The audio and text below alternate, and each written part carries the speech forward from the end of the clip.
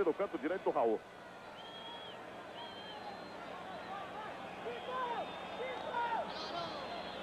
Raul está pedindo o Zico voltar.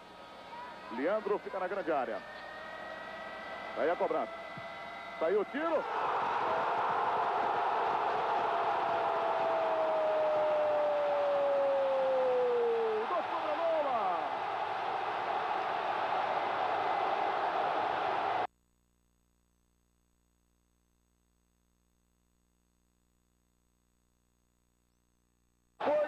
Foi foi desviada por alguém.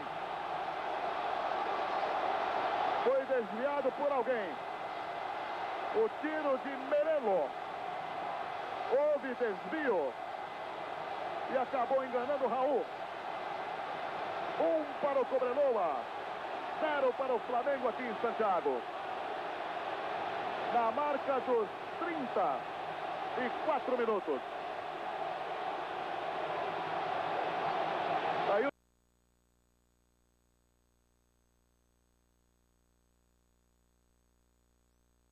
Left.